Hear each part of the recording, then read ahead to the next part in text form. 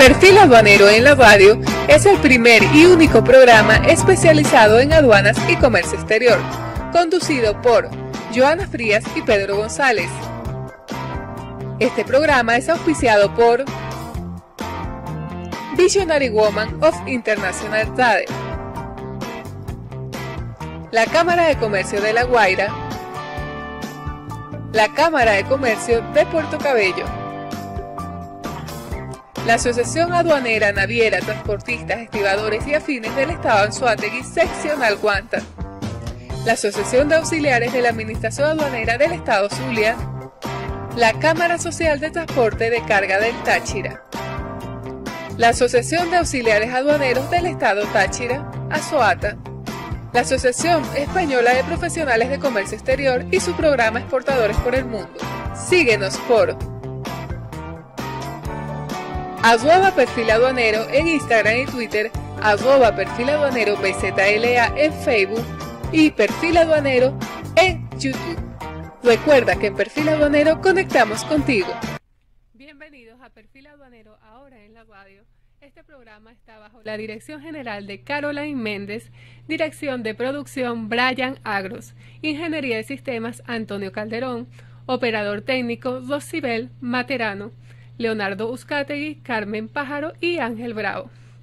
Quiero darle las gracias en este primer programa a todas las cámaras y asociaciones que han apoyado el programa, en especial a Cipriana Ramos y Eduardo Quintana de la Cámara de Comercio de La Guaira, a Jorge Aroca de la Cámara de Comercio de Puerto Cabello, a Isaías Marcano de Guanta, a Vladimir Tobar de Caso Trans, a Nelson Urueña de Azoata, a Mari Díaz y Antonio Contreras de Azadaes, a Guillermo Rivas Plata de ACOSEC y su programa Exportadores por el Mundo, al cual los invitamos a ver. Y bueno, y a Luis Marcelo Asensio de Portín, que nos pidió saludos a Chile. Este, el día de hoy pues, estamos celebrando nuestro quinto aniversario. Este programa es conducido por mi persona y por Pedro González. Pedro, bienvenido. Eh, bueno, muchas gracias, Giovanna, y la gente aquí de TNO Radio, la primera radio audiovisual de Venezuela. Este, bueno, estamos muy, muy contentos por volver después de tanto tiempo de haberlo ido del aire por, por cuestiones personales y, y bueno, eh, recordar un poquito la memoria de nuestro gran amigo que nos, eh, nos, motivó a estar en, esta, en este medio, el señor Rafael Gacela. Y bueno, muy contento con la invitada especial que tenemos aquí de lujo, eh, la doctora Emilia Peraza, que... Este programa es un programa de producción nacional independiente 61111 eh, por el productor Pedro González. Y Emilia Peraza es nuestra invitada especial del día de hoy. Emilia es directora de operaciones de Taurel, consejera permanente de Consecomercio, es presidente de ASOCAP, es presidente de Cabecol y directora de Aves. Un honor para nosotros tener a Emilia. Emilia siempre la traemos en los primeros programas porque nos da suerte.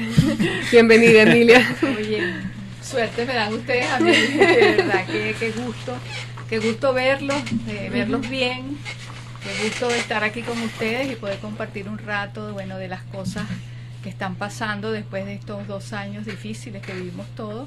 Y bueno, aquí estoy a la orden y, y, gracias a todos los que están conectados. Espero que tengamos un programa agradable y optimista.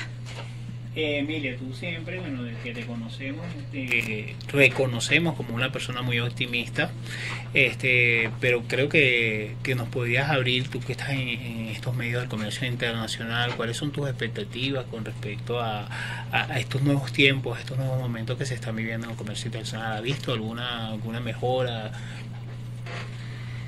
Mira, eh, creo que lo, los dos años que pasamos de esta situación de pandemia por supuesto una situación inesperada, inédita, desconocida, eh, nos trajeron el futuro al presente.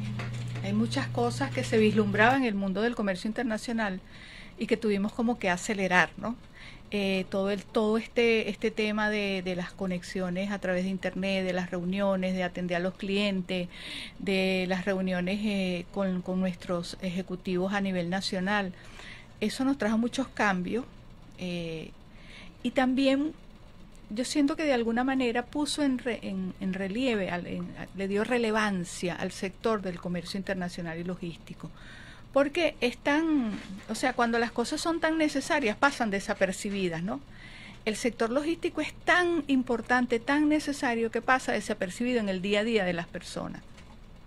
En estos dos años donde mucha gente se metió en sus casas y en sus oficinas y no salían y trabajaban este, aislados para, para no contaminarse con, con, el, con el virus, con la pandemia, el sector logístico tuvo que salir adelante, tuvimos que estar en los puertos, en las aduanas, en las carreteras, los transportistas. Y no hablo de Venezuela, hablo de en todo el mundo.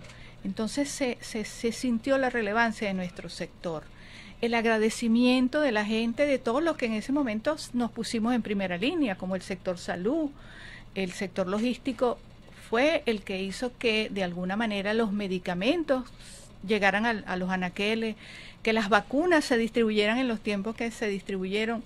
Probablemente una de las de las lecciones más grandes de esta pandemia es que fue la que más con, se atacó más rápido debido a que eh, salieron las vacunas a tiempo y entonces estaba eh, de alguna manera de la mano la ciencia, la tecnología y la logística, porque la ciencia este, trae, eh, inventa la vacuna, pues la crea, eh, a través de la tecnología se, se, se, descubre todo, la, todo lo que tiene que, hacerse con estas vacunas, pero es la logística la que lleva esas vacunas al destinatario final. Entonces, cada ciudadano del mundo que recibió su dosis de vacuna, la primera, la segunda, la tercera la cuarta, tiene que estar agradecido de que existe en el mundo un movimiento de comercio internacional que existen unos profesionales de la logística que tiene que ver con el transporte aéreo, con el transporte marítimo, con los agentes de aduana, con los almacenes, hasta con los drones, que pusieron este, a la orden del ciudadano eh, las vacunas para hoy en día poder decir que hemos bajado el nivel de, de, riesgo de esta pandemia. Eso es importante, Emilia, porque hemos visto que los médicos estuvieron siempre al frente, pero nadie este, resaltó el papel que teníamos nosotros como logísticos, como aduaneros, como personal de comercio internacional dentro de lo que fue la pandemia. Para que pudieran llegar las mascarillas, para que pudieran llegar los medicamentos, la vacuna, como tú muy bien lo dices, eh, fue un rol bastante importante porque nunca paró de hecho, tuvieron que seguir trabajando. Doblegarse, eh, doblegar la, el trabajo en, en, circunstancias extremas, porque también hay que decirlo, durante la pandemia recuerdo yo de que hubo un buque que tuvo un accidente naviero en el canal de Suez y tuvo como 15 días, sería, eh, encallado sin que se pudiera agilizar, movilizar del sitio donde, donde este estaba. Eh, durante, bueno, la pandemia han habido conflictos bélicos en varias partes del mundo que han hecho de la logística eh, de alguna manera que ellos eh, pudiesen eh, o tuviesen que cambiar los protocolos, los protocolos de seguridad, los protocolos de navegación, los protocolos en las aduanas. Entonces, eh, muy, ahí existe eh, yo no diría que poco reconocimiento, sencillamente existe un desconocimiento de conglomerado social sobre cuál es el rol tan importante que tiene no solo la logística internacional, sino el mundo portuario, el mundo marítimo, el mundo naviero, el mundo de las aduanas. Eh, me encantó eso de lo de la primera línea, porque es verdad, eh, el reconocimiento y gracias lo tienen el personal médico, pero antes que el personal médico tuviese estos, estos rubros, estos, estos recursos que necesita, se requiere de una cantidad de, de procesos y esfuerzos de, una, de un importante número de profesionales, de personas que, que tienen que estar comprometidas con esto para que eso sea efectivo. Ciertamente, incluso en el tema de la gente del mar, la gente en, ciudades que, que, fueron confinadas totalmente, se quedó mucho, muchos hombres de mar y mujeres de mar confinados en las ciudades y confinados en los buques y, también llegó un momento en que no se podía movilizar los buques porque no había, no, no tenías el personal. Ha sido una, una experiencia retadora que, que, trae grandes aprendizajes para todos y grandes cambios en, en todo lo que tiene que ver con, con, el mapa logístico mundial. Creo que vamos a ver en los próximos tiempos cambios interesantes en todo lo que es el tema logístico y probablemente ese reconocimiento de esa relevancia que debe tener el sector. Ok. Emilia, este, sabemos que presides el Comité de Exportadores, de Facilitación a las Exportaciones de Aves, que es la Asociación Venezolana de Exportaciones. Háblanos un poquito de qué se trata este comité y qué hace la Asociación Venezolana de Exportadores para las personas que no lo, no lo conocen. Bueno, primero te hablo de AVEX. AVEX, como tú bien lo dices, la Asociación Venezolana de Exportadores es una asociación que tiene ya muchísimos años, creo que vamos a cumplir 60 años, no tengo, pero en bastantes años tiene AVEX Y el rol de Aves eh, ha sido fundamental en todo lo que tiene que ver con la promoción de exportaciones y el apoyo al exportador. Probablemente en los últimos años es que hemos tenido este, más, ha sido más visible el, el rol de Aves.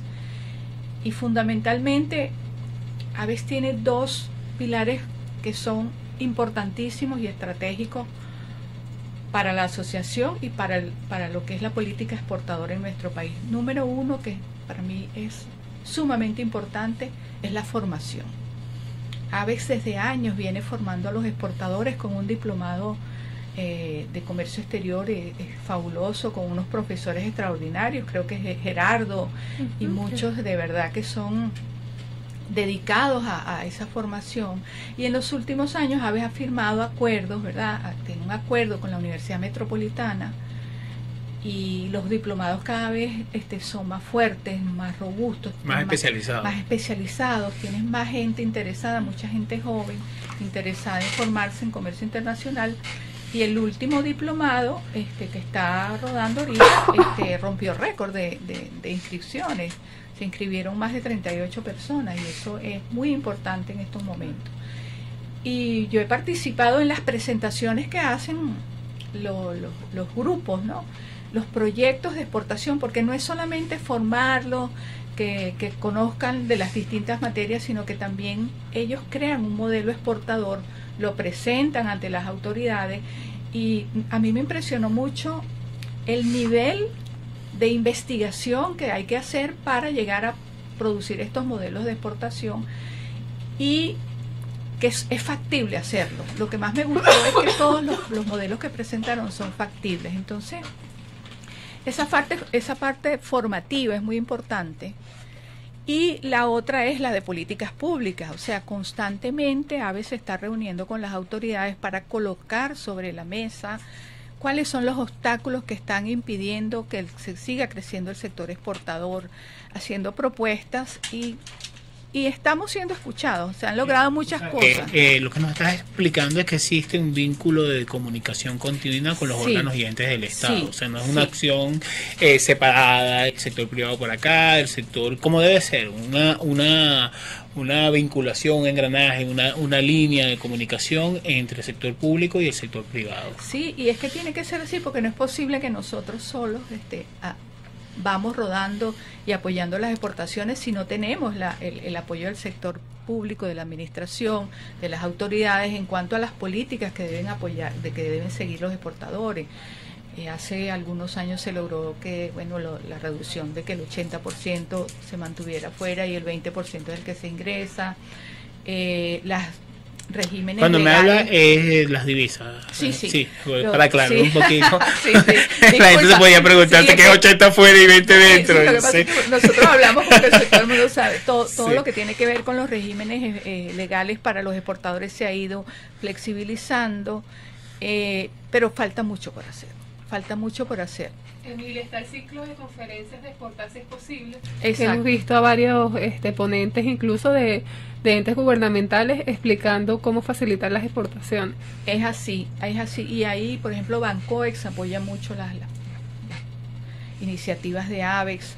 Sí, hay, hay muchísimo trabajo, trabajo que hacer y, y AVEX también tiene mucha relación con las cámaras, con las otras cámaras, con las muchas alianzas porque nosotros entendemos que solo no lo podemos hacer, solo no lo podemos hacer. Este, me llama poderosamente la atención, tuvimos una reunión en, la Cámara de Comercio Colombo Venezuela, eh, venezolana, Cabecol.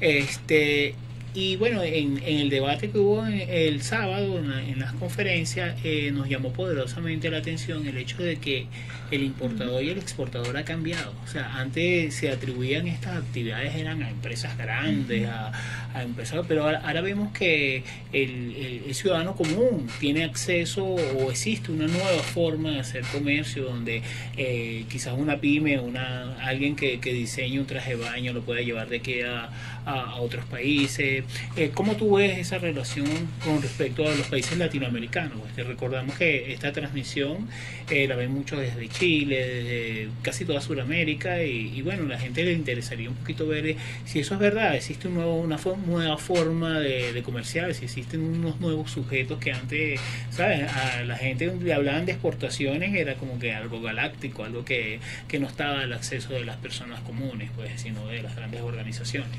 Sí, e, es así y tiene que ver con todo este movimiento que hay en el mundo del emprendimiento, pues gente que deciden ser sus propios jefes, que tienen, que, que crean, que, que crean productos, servicios y que quieren colocarlos a la orden de los consumidores sin tener que estar dentro de una gran organización. Lo, sí, lo que sí es cierto es que independientemente del tamaño, seas emprendedor o seas una multinacional, seas chiquitico, seas grande, seas una persona o mil personas, hay una forma de hacer las cosas y hacerlo bien. Y en eso, y ese es la, y ese es el gran trabajo de las instituciones como AVEX el tamaño de tu empresa no es lo, relevante o lo sustantivo. Lo importante es que tú desde un principio quieras hacer las cosas bien. Por eso lo peculiar de que el comité se llame Comité de Facilitación a las Exportaciones. Queremos exportaciones con éxito, exitosas, que, que se disminuyan los riesgos, entiendo que debe ser Exactamente, que hagas las cosas bien desde un principio, que constituyas tu empresa, que formes a tu personal, que sepas cómo captar un mercado internacional que el producto sea de calidad, que los precios sean competitivos, que conozcas cuál es el, modo de transporte, el de embalaje, o sea, es un mundo complejo. No es soplar y botella. No, no es y botella, es un mundo complejo que si lo haces bien desde un principio y vas poco a poco este, trabajando, conquistas un mercado internacional. Las estadísticas te dicen que más o menos es un promedio entre 5 y 7 años para que tú ya sientas que conquistaste un mercado internacional y eso requiere de constancia, de perseverancia, de disciplina, de conocimiento y de buscar apoyo y asesoramiento con la gente que te va a guiar a hacer las cosas bien. Porque también hay gente que le gusta guiar hacia lo malo, ¿no? en Aves lo que nos preocupamos es eso, que la gente haga las cosas bien, desde un principio porque eso es lo que te va a llevar a mantenerte en los mercados internacionales. Comité de facilitación de AVEX es como una herramienta que tiene AVEX para hacer un acompañamiento a este exportador. Sí, fíjate, el comité es un comité multidisciplinario, que bueno, recientemente ingresó Joana y perfil aduanero. Ahí tenemos importadores, exportadores, eh, empresas de logística, banca, eh, asesores, expertos aduaneros, tenemos una, una gama de de profesionales. ¿Quiénes pueden acudir? Porque persona hay que estar... Sí, bueno, hay que eh, estar inscrito en AVEX, pero también nos hemos abierto a, recibir gente interesada en el tema y por supuesto allí ven la importancia del comité y también se interesan por inscribirse en AVEX. Bueno, vamos a una pausa comercial y ya regresamos. Perfil Aduanero en la Radio es el primer y único programa especializado en aduanas y comercio exterior, conducido por Joana Frías y Pedro González. Este programa es auspiciado por Visionary Woman of International Trade, la Cámara de Comercio de La Guaira, la Cámara de Comercio de Puerto Cabello, la Asociación Aduanera, Naviera, Transportistas, Estibadores y Afines del Estado Anzuategui, Seccional Guanta la Asociación de Auxiliares de la Administración Aduanera del Estado Zulia, la Cámara Social de Transporte de Carga del Táchira, la Asociación de Auxiliares Aduaneros del Estado Táchira, ASOATA, la Asociación Española de Profesionales de Comercio Exterior y su programa Exportadores por el Mundo. Síguenos por arroba perfil aduanero en Instagram y Twitter, perfil aduanero BZLA en Facebook y Perfil Aduanero en YouTube. Recuerda que en Perfil Aduanero conectamos contigo. Bueno, y ahorita vamos a tener la participación especial desde el Perú de nuestro amigo el doctor Javier Ollarse. Él nos va a estar hablando un poco de facilitación a las exportaciones. Vamos con el video.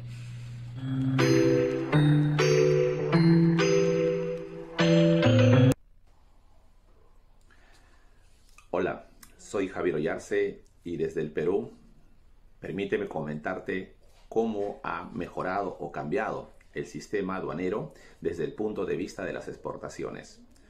Para nadie es un secreto que con ocasión de la pandemia todos los países y las entidades públicas en especial tuvieron que migrar sus procedimientos que estaban basados en la presentación de documentos impresos en papel a procedimientos digitales, abriendo mesas de partes virtual y implementando softwares que hagan posible que los operadores del comercio exterior puedan realizar con éxito todos sus trámites, todas sus solicitudes sin mayor dilación. Y eso es lo que ha ocurrido en el Perú. Desde el Perú hemos simplificado grandemente el procedimiento de exportaciones que ahora es 100% digital. ¿Qué significa esto? Que el agente de aduana recibe el encargo del exportador para transmitir la declaración aduanera de mercancías a través de un formato llamado mandato electrónico, que lo realiza desde el portal institucional de la SUNAT. Una vez recibido ese mandato, el agente de aduana ya puede transmitir la declaración de exportación. Otro cambio importante es que el proceso de supervisión y control de la mercancía se puede hacer de manera remota. Quiere decir que si una declaración sale seleccionada a reconocimiento físico, utilizando los escáneres se puede revisar el contenido de la carga sin abrir el contenedor, protegiendo de esa manera la mercancía y evitando su contaminación. Y otro cambio importante es que todos los documentos que respaldan la declaración de exportación, me refiero a la factura comercial, la póliza de seguro, el certificado de origen, el conocimiento de embarque, se eh, adjuntan de manera digital para de esa forma eh, darle facilidades al exportador para que pueda rápidamente acceder al trámite de exportación.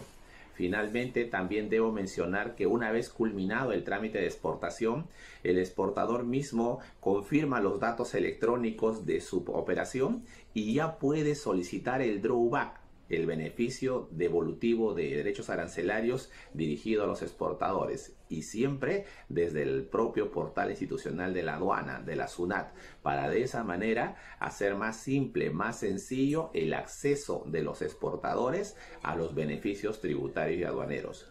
No cabe duda que esto seguirá avanzando en proceso de mejora continua porque el propósito del Perú y creo de toda la región es lograr interconectar a las ventanillas únicas de comercio exterior para efecto de que podamos interactuar.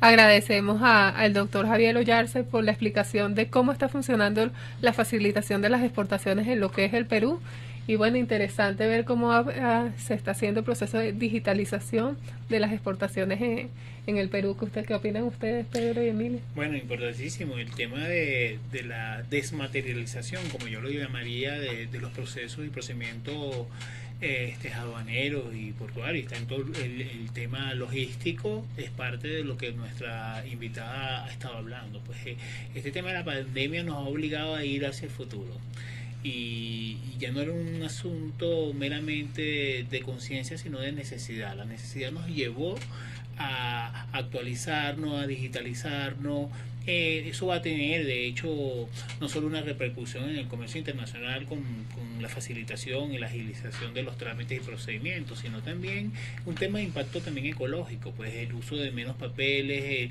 eh, de carga incluso para la administración pública, como el archivo de esa cantidad de documentaciones que muchas veces eran este, inorgánicas, pues no se pedían no sé qué cuántos copias de copias y, y al final, bueno, no había como manera como, a veces hasta hallarla.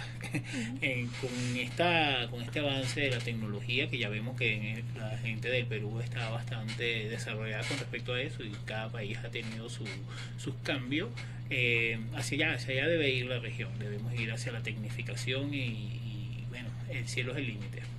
Sí yo estoy de acuerdo Pedro. Fíjate nosotros hemos avanzado tenemos algunos avances, por ejemplo, nosotros tenemos nuestro sistema aduanero automatizado, hacemos transmisiones electrónicas, ya entró en, funcionamiento la BUSE, todavía limitado solo para registrar los importadores o exportadores. Eh, aquellos compañeros que no saben, la BUSE es la ventanilla la única, ventanilla única de exportación. A veces, igual que lo de Trovac, bueno, en cualquier Menos mal que tengo a Pedro aquí de traductor. ¿Qué, es lo que, ¿Qué es lo que yo siento que a nosotros nos está faltando? Nosotros tenemos una Asociación Venezolana de Exportadores que es el vocero de los exportadores ante el sector oficial. pero el sector oficial en materia de exportación está totalmente disperso. O sea, hay cualquier cantidad de ministerios, de entes, incluso ahora también en, las alcaldías. Mm. ¿Qué es lo que yo siento que está faltando para nosotros seguir avanzando en el tema de una política coherente, consistente, clara, de facilitación de las exportaciones? Un interlocutor válido que aglutine a todos los actores del sector oficial, ¿verdad? Y que tú puedas dirigirte como existió en, algún momento el Instituto de Comercio Exterior.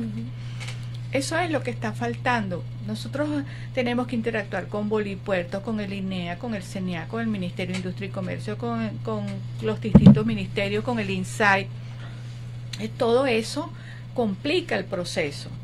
Entonces, si, si tuviéramos un, un organismo donde Aves como, como representante de los exportadores y ese organismo como representante del sector oficial, nos sentamos y decimos, mira, tenemos todos estos cuellos de botella aquí, todas estas situaciones que están de alguna manera obstaculizando las exportaciones, están encareciendo el producto para colocarlos en los mercados internacionales. Entonces, nos, nos sentamos allí y juntos buscamos las soluciones, pero todos remando hacia el mismo lado, cohesionados. ¿Qué pasa ahorita? Que cada quien dentro de su, de su de sus atribuciones que tiene, está tratando de hacerlo lo mejor que puede, pero es, disperso. Claro, estamos remando hacia lados distintos. Todos queremos el mismo objetivo, eh, pero remamos en, la energía no la, no la tenemos en sinergia. Exactamente. Y en vez de facilitar, lo que hacemos es profundizar los controles y complicar, y eso es lo que, lo que nos está faltando. Emilia, ¿consideras que el tamaño de una empresa, la madurez de su experiencia comercial o su capital monetario es una limitante insuperable para aspirar a tener exportaciones exitosas? No, no, no, no. no. De hecho, e, es lo que comentaba antes. El, el deseo de, el tener un, un, sueño de un producto con calidad exportadora, creo que muchos en Venezuela lo tienen. Venezuela tiene unos productos de una calidad de verdad que, que uno se queda impresionado. El tema de los camarones venezolanos, el ron, el chocolate. Mm. Esos que son los que más suenan y otros que muchas veces no, no estamos viendo. Hay alimentos para, para mascotas elaborados, elaborados desde la, lo que es la oreja de cochino que se están exportando, madera. Nosotros estamos teniendo una eh, cangrejo, cangrejos mm. azules Estamos teniendo una gran diversidad de, productos de exportación y que van desde pequeñas empresas hasta grandes productoras. Y, todo tiene que ver es con el deseo, como le decía antes, de hacer las cosas bien, de consultar, de prepararse, de buscar a los expertos que te van a llevar de la mano para que tú puedas colocar ese producto en los mercados internacionales al menor tiempo, con el menor costo y con la mejor calidad. 2022, año de seguir en resiliencia, esperando aguantar los golpes, o año de emprendimiento y de, de, acción emprendedora, de ya irnos de la resiliencia a la acción, considera. Sí, sí, y, creo que en eso está, estamos todos, pues, estamos todos. Eh, sí, resistimos todo esta, este embate que nos vino inesperado, pero ahora tenemos que buscar los caminos para seguir avanzando y avanzando con productividad. ¿Siente que la gente está en esa frecuencia ahorita? Sí, sí. Muchas empresas y muchas personas que están realmente trabajando en función de, de salir adelante, superar todo, todos estos momentos difíciles y salir adelante y seguir avanzando con sus empresas, con sus familias, con sus sueños, con, con lo que tenemos que seguir. Pues. Emilia, como experta en el área logística, eh, cuéntanos cómo ves tú, cómo visionas las relaciones de intercambio comercial colombo-venezolanas en el marco de una eventual apertura de la frontera con la toma de posesión de Petro. Bueno, primero que independientemente del tema político, eh, evidentemente que las declaraciones del presidente Petro este, nos, nos traen una una, una esperanza, ¿no? Un respiro. Un respiro porque este, una, este, estamos con la frontera por San Antonio del Táchira cerrada desde 2015. Eso ha traído situaciones muy complejas de desde todo punto de vista. Siete años cerrada. Desde el punto de vista de las empresas, desde el punto de vista de, de, la, de, la, de las personas que viven en cómo se ha deprimido económicamente el, la región, la frontera, las relaciones entre esos, esos vecinos que, que día a día intercambiaban productos, cómo ha crecido la ilegalidad, Así es. porque eso es lo más importante. triste, es que este cierre lo que ha hecho es que creció la ilegalidad, y la ilegalidad en una cantidad de delitos que no son solo delitos de contrabando. En la frontera hay cantidad de delitos mm, Cualquier modernos, de- pues. sí. Entonces, eh, esto trae una esperanza y, por supuesto, abre un mundo de oportunidades para ambos países. ¿Y quién va a aprovechar? ¿Quiénes van a aprovechar esas oportunidades? Bueno, el país que esté más preparado. Nosotros en Venezuela tenemos que estar muy alertas en ese sentido porque para nadie es un secreto que desde el punto de vista de productos, de colocación de oferta exportable, Colombia tiene una ventaja sobre Venezuela. Otro tema que nos debilita y que, y que ojalá se pueda resolver en los próximos tiempos, nosotros nos salimos de la comunidad andina. Colombia sigue dentro de la comunidad. La comunidad andina ha mejorado muchísimo. Hay acuerdos interesantísimos que yo que sigo constantemente porque soy una apasionada de la integración y, y pienso que una de las cosas que debe hacer Venezuela ahora con esta eh, nueva relación con Colombia es volver a la CAN, volver a la CAN. Nosotros este, necesitamos estar allí. Comunidad Andina de Naciones. Comunidad Andina de Naciones. Nosotros necesitamos estar allí y el comercio con, con Colombia llegó un momento en el 2012 que llegó a 7 mil millones de dólares, una balanza más Bastante. o menos equilibrada, pero, pero en estos momentos la balanza está a favor de, a favor de Colombia. Lo poco que se está moviendo, lo poco que se está moviendo. Tenemos que revisar el acuerdo, hay un acuerdo número 28 entre Venezuela y Colombia que se, que se hizo cuando salimos de la CAN. Y ese acuerdo se hizo sobre el histórico de productos que se habían intercambiado mientras Vene- Venezuela estuvo en la comunidad andina. ¿Qué pasa? Que del 2015 a esta fecha hay nuevos productos, sobre todo el área de tecnología, farmacia. En la cámara nos hablaron incluso los embalajes, el material de embalaje, los Exactamente, recipientes, ese exactamente. Entonces hay una cantidad de productos en, el, en, en ambos países que no están en esas listas y que al no estar en esa lista eh, ten- tienen que pagar arancel de terceros países. Entonces eso nos pone en desventaja. Hay un acuerdo de transporte internacional por carretera que lo suscribió Venezuela, no lo ha suscrito el, el- el- el gobierno colombiano y eso también es necesario. Ese acuerdo de transporte internacional por carretera es que establece los límites de peso por eje de las unidades de transporte que atraviesan nuestros países. Entonces, creo que ahí hay muchísimas oportunidades. Lo que sí es que nosotros tenemos que prepararnos, porque eh, estamos teniendo una situación donde se hacen negociaciones con países y no están los actores. Los actores de, de, una, de un intercambio comercial es el sector privado. Y no estamos en esas negociaciones, entonces las negociaciones terminan siendo a beneficio de el otro país y no de, y no de la producción nacional. Gracias, Emilia. Vamos a un corte comercial y ya volvemos. Perfil Aduanero en la Radio es el primer y único programa especializado en aduanas y comercio exterior, conducido por Joana Frías y Pedro González. Emilia, quisiéramos saber tu opinión de cuál es tu percepción de la dinámica comercial en razón a las relaciones comerciales y de influencia de China, Turquía, Irán, entre otros países euroasiáticos de la región, con especial énfasis en Venezuela. Bueno, es el mundo de la geopolítica, ¿no? La geopolítica marca las relaciones y, y- y con los países con que tienes mejores relaciones es donde se generan los negocios, el, el- el comercio internacional. ¿Qué es lo que, lo que nosotros allí, y es una, una, una propuesta siempre de, de mejorar lo que es, qué sector privado participó en esas negociaciones? porque es lo que decía con el, en el caso Colombia. Si cuando nos sentamos a negociar acuerdos con distintos países, que a mí me parece buenísimo que Venezuela tenga acuerdos con muchos países y que, podamos tener esa oferta de, productos donde tú escojas cuál te gusta más de calidad, precio, marca o, nacionalidad, pues eso es una decisión del consumidor.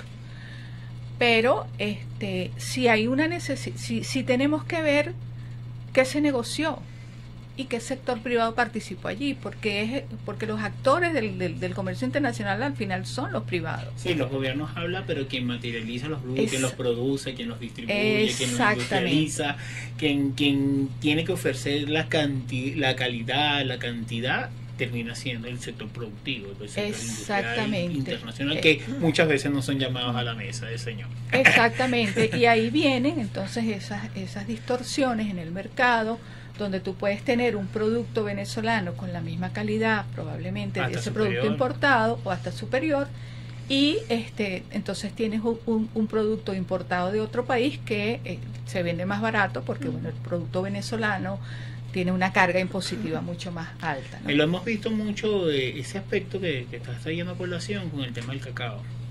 Eh, actualmente, bueno, para nadie es un secreto que el equipo de perfil aduanero ha estado acompañando a la gente de, del mundo del cacao. Cuando hablo de cacao, desde la chocolatería, la manteca de cacao, y bueno, todos sus derivados, el licor. Este, y ellos eh, se, se preocupan por este, por este fenómeno, porque eh, sabemos que es un producto estratégico para, para la nación, es, es, un producto que da la cara por Venezuela, pero que muchas veces, a pesar de que tiene una altísima calidad, para nadie es un secreto de que es así, este, compite con otros productos foráneos que a veces tienen menor nivel, pero el precio no se le puede ofrecer. Eh, precisamente esas desigualdades que a veces son muy crueles del comercio. Sí. Y sabes, es, es, un, es un tema que hay que rescatar porque nosotros en Venezuela tenemos gente, creo que, que Venezuela cuenta con un sinnúmero de profesionales expertos en temas arancelarios, aduaneros, eh, fiscales, que pueden conformar un gran equipo para apoyar al, al, a los organismos públicos en esas negociaciones. De hecho, yo recuerdo que hace muchísimos años Oye, las delegaciones venezolanas que iban a negociar eh, en, la CAN, en Aladi, o sea, era gente muy bien formada, muy, preparada, Gerardo lo debe recordar. Y hacia eso debemos ir y, probablemente en la búsqueda de ese, de ese vocero oficial, de ese interlocutor válido que debe ser un ente que represente todo lo que es el tema del comercio internacional, debería estar ahí la revisión de todos esos acuerdos buscando la equidad buscando la equidad para que, oye, si nos sentamos a hacer un acuerdo, eh, que sea beneficio para ambas partes, no para no para un solo lado, ¿no? Sobre todo por los riesgos, considero yo que así como las cosas pueden salir bien, eh, las cosas podrían ser catastróficas, incluso con, con buenos productos. Sí. Eh, he escuchado de expertos circunstancias que han pasado, por ejemplo, en Irán con productos venezolanos, en caso de, ferias internacionales en las cuales hemos participado y hemos llevado, por ejemplo, licor, ron, y entonces por cuestiones religiosas y culturales no se hizo un buen estudio de mercado, y bueno, ya sabemos que con el tema del Islam y fueron así como, como vetadas, fueron restringidas, y entonces se perdió una voluntad de emprendimiento exitoso que quizás otro producto pudo haber concursado por el Estado venezolano. y no saben lo que se perdieron, porque el ron venezolano es el mejor ron del mundo, que lo diga Yelisa Suárez. Saluda a Yelisa. Bueno, ni, siquiera, ni siquiera es que tú sabes que ahora dicen, oye, pero es que los venezolanos todo lo de ellos es más no, es que es verdad, nos hemos ganado más de 20 premios internacionales como los mejores rones del mundo. Bueno, yo no tomaba ron.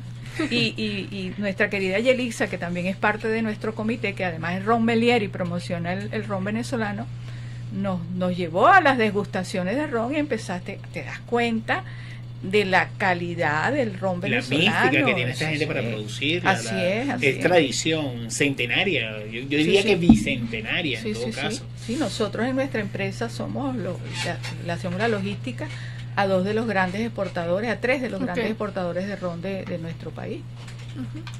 Emilia, para cerrar, ¿cuáles serían tus recomendaciones para el emprendedor que realmente quiere exportar?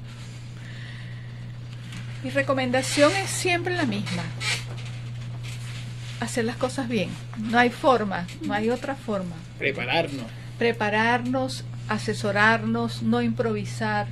Acudir a AVEX. Acudir a AVEX a pedir información exactamente, a, las cámaras. Mira, a mí me encanta este cómo todos estos promotores que tú tienes en tu programa, porque yo soy una ferviente creyente de la de los gremios, de, del trabajo en equipo. Tú eres una integradora de Sí, de la suma de, de esfuerzos y de voluntades y de verdad que hay muchísimas cámaras y asociaciones que están a la orden del, del- de ese emprendedor para guiarlo, para orientarlo, para decirle dónde tienes que ir, a quién tienes que acudir, cómo tienes que prepararte, las escuelas, la escuela de Hacienda, los profesores, la, el- la escuela de AVEX, y, y eso, no improvisar. La improvisación en, en, en- en comercio internacional sale cara, sale muy cara. Bueno, creo que en cualquier negocio. Sí. Pero en el tema del comercio internacional es que es que estás exponiendo el nombre del país. Es que no es que te rayas tú, es que rayas al país, porque cuando un producto venezolano entra en un anaquel en el exterior y ese producto no entra en condiciones de calidad, de precio, de oportunidad, de cumplimiento de lo que del compromiso que adquirió con, con- con ese comprador en el exterior, pues están deja- dejando mal el nombre del país. Eso es lo que queremos decir desde aquí de Venezuela con Rayar, es dejar mal, dar una mala impresión, una mala imagen. Nos estamos rayando. Menos mal que Pedro me traduce. No, lo que pasa es que eh, nosotros tenemos un, un público multiverso de muchos países, ahorita están bastante atentos a lo que está ocurriendo aquí en Venezuela y en toda América Latina, y entonces, claro, dentro del coloquio tenemos expresiones que son muy propias nuestras y a veces la gente Sí. eh, se confunde. Pues. Sí, Entonces, eh, el chimbo para nosotros no es el mismo chimbo de Colombia. Totalmente antípodo del uno del otro. Entonces, bueno, siempre tendemos a aclarar ciertas circunstancias, porque nos han llegado preguntas, mire, ¿qué es esto? ¿Cómo que los rayaron? Pero nosotros lo que tenemos es que promocionar nuestros productos. Nosotros los venezolanos y, y esto esta, esta cantidad de venezolanos que están hoy en día afuera, que es maravilloso ver lo que están haciendo, increíble. este, cómo han puesto la arepa, o sea, yo, a, Sí. mí, me- a mí me encanta ver gente que en su vida sabían lo que era una arepa y ahora las disfrutan como uno de los mejores desayunos, las empanadas, los rones, y ese es el trabajo de, de- del compromiso. Tú te puedes ir del país, pero el país se va contigo en tu corazón y, y, y es- yo creo que eso es súper importante. Eso es parte de nuestro gentilicio. El venezolano, gentilicio, dentro de todo, es muy. Sí. lleva siempre el país. Tú que has estado en varios escenarios internacionales, este lo sabes. Lamentablemente, Emilia, y con todo, bueno, eh, el tiempo es inexorable. Ay, sí, se acabó. Se va rápido. Rápido. Sí. Agradecemos a Emilia Peraza por, por acompañarnos en este primer programa y bueno, en el marco de nuestro quinto aniversario de Perfil Aduanero, Pedro, ¿algún mensaje final? Sí, este, las exportaciones. Nosotros los venezolanos tenemos que empezar a exportar el país, a, darnos a conocer, a en el rincón que estemos en el mundo, tener nuestro país en el pecho y, eso, y una cultura muy bonita. eh, em, eh, movernos, movernos, emprender y como siempre, bueno, como Emilia Peraza nos ha dado aquí a, ver, pues una lección de positivismo, de montarnos, de dejar ese, ese, eh, esa pesadez, esa cosa y, y bueno, eh, como tú nos dijiste antes de empezar el programa, ¿cuál es el problema? Errar, bueno, errar es de humano y lo importante es volver a hacer. Es así. Gracias, Pedro. Y bueno, desde Perfil Aduanero siempre trabajamos por nuestro país, por elevar la marca Venezuela. Y desde nuestro programa es lo que queremos proyectar, cómo estamos trabajando en Venezuela y llevarlo también para todas las regiones de habla hispana. Así que nos despedimos y bueno, en la dirección general, Caroline Méndez. En la dirección de producción, Brian Agros. En la ingeniería de sistemas, Antonio Calderón. Operador técnico, Rosibel Materano. Leonardo Uzcategui, Carmen Pájaro, Ángel Bravo y recuerda seguirnos en nuestras redes sociales en Instagram y Twitter arroba perfil aduanero y en Facebook arroba perfil aduanero BZLA y en YouTube donde van a ser colgados todos estos programas perfil aduanero. Nos vemos hasta el próximo sábado. Gracias. Perfil Aduanero en la radio es el primer y único programa especializado en aduanas y comercio exterior, conducido por Joana Frías y Pedro González. Este programa es auspiciado por Visionary Woman of International Trade, la Cámara de Comercio de La Guaira, la Cámara de Comercio de Puerto Cabello. La Asociación Aduanera, Naviera, Transportistas, Estibadores y Afines del Estado Anzuategui, Seccional Guanta. La Asociación de Auxiliares de la Administración Aduanera del Estado Zulia. La Cámara Social de Transporte de Carga del Táchira. La Asociación de Auxiliares Aduaneros del Estado Táchira, ASOATA la Asociación Española de Profesionales de Comercio Exterior y su programa Exportadores por el Mundo. Síguenos por arroba perfil aduanero en Instagram y Twitter, arroba perfil aduanero BZLA en Facebook y perfil aduanero en YouTube. Recuerda que en perfil aduanero conectamos contigo.